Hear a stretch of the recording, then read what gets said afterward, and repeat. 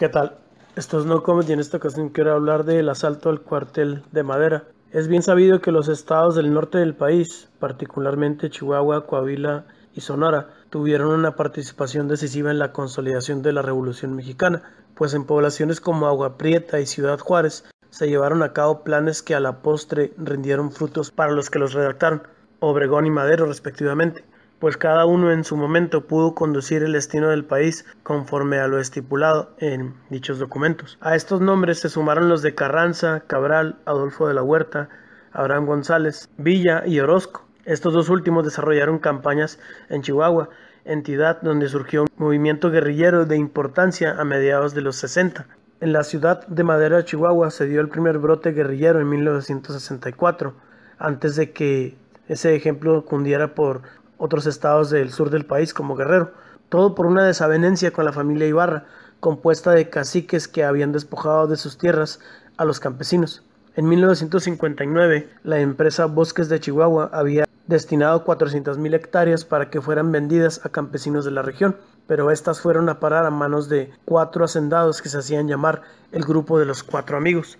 Era compuesto por Alejandro Prieto, Tomás Vega Portillo Roberto Schneider y José María Bojorques. Al desintegrarse, esa sociedad quedó como único dueño José Ibarra, quien ni tardo ni perezoso se apresuró a distribuir las propiedades entre los miembros de su familia. La disputa por las áreas forestales y despobladas continuó por varios años hasta que las negociaciones entre el gobierno del estado y la Unión General de Obreros y Campesinos no dieron resultado. Arturo Gamis comandaba al grupo de campesinos inconformes y fueron ellos los que, con un núcleo pequeño y mal armado, sin entrenamiento, realizaban acciones esporádicas de ataque militar. Ellos se enfrentaron al ejército en la sierra en febrero de 1964. El primer ataque fue en uno de los terrenos de los Ibarra. La policía judicial y el ejército se dedicaron a localizar al comando armado entre Sonora y Chihuahua. El 15 de julio de 1964 hubo otro enfrentamiento entre ambos bandos. Del lado de los guerrilleros fueron 11 contra 5 policías judiciales. Este fue breve y favorable a Gamis y compañía, ya que hirieron a dos oficiales y desarmaron a los tres restantes. Ya en el año 1965, por ahí del 23 de mayo, hubo otro encuentro. La acción se desarrolló cerca de Ciudad Madera, Chihuahua. Los soldados y los policías recibieron la denuncia de que habían sido ocupados unos predios y al llegar al rancho las águilas fueron sorprendidos, rodeados y atacados por el grupo de Gamis. Ni tiempo tuvieron de responder al ataque, solo alcanzaron a huir en forma precipitada y al hacerlo abandonaron el equipo militar que tenían. Esto resulta inaudito tomando en cuenta que los guerrilleros carecían de preparación bélica. Otro detalle importante es que quizá los soldados hubieran menospreciado a los sublevados y descuidaron su defensa. El punto culminante fue el asalto al cuartel de madera. En aquella ocasión los guerrilleros eran 17 contra 120 soldados con armamento superior, por lo que la oportunidad de triunfo era nula. Gamis se había dirigido al gobernador de Chihuahua, Praje Giner Durán, mediante una carta, explicando las razones de la acción guerrillera, ellos buscaban que la justicia que se les niega a los pobres llegara finalmente. Este asalto sucedió el 23 de septiembre de 1965, en las primeras horas del amanecer. Murieron ocho rebeldes y cinco soldados, además de diez militares heridos por tres civiles, de los cuales murió uno por cada bando.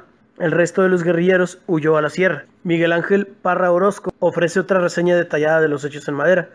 Para él, hay quien dice que el grupo estaba formado por 14, otros sostienen que 15 o 17.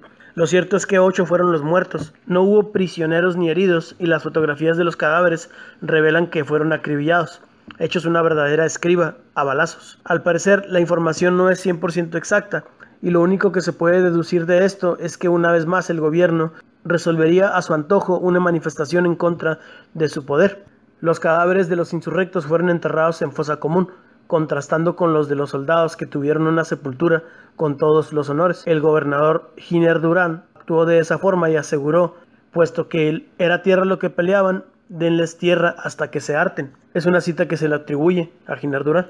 Murieron los principales líderes, Arturo Gamis y el doctor Pablo Gómez, ambos miembros del Partido Popular Socialista. Arturo Gamis era profesor, cabe destacar eso. Este grupo nunca redactó una declaración de principios o programa de actividades, tal vez porque la razón de su existencia era la lucha por la recuperación de tierra sin pretender ir más allá, a buscar una revolución, una revuelta más grande que quisiera pretender cambiar el mundo. El mismo móvil regionalista es el que caracterizaría a la mayoría de las asociaciones guerrilleras futuras. Dejo en el video las fuentes de información para quien guste consultarlas. Muchas gracias y hasta pronto.